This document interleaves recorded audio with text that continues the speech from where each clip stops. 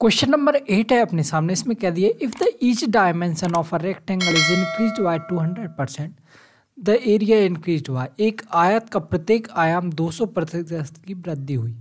तो क्षेत्रफल में वृद्धि हुई बताना। देखिए क्वेश्चन बिल्कुल आसान है आंसर आएगा 800 परसेंट कैसे? देखिए 200 परसेंट बढ़ गई मतलब लेंथ बढ़ गई एक से लेकर तीन। ठीक है ब्रेथ भी एक से लेकर तीन बढ़ गई। 200 परसेंट बढ़ने का मतलब। तो ये कितना हो जाएगा? एरिया एक और ये कितना हो जाएगा? नौ। एक से नौ बढ़ गया एरिया। मतलब कितना बढ़ गया? आठ बढ़ गया। पहले एक था, फिर नौ हो गया। तो एक में आठ ऐड किया, जब ही नौ होगा, कितना बढ़ गया? आठ सौ परसेंट बढ़ गया। ठीक है?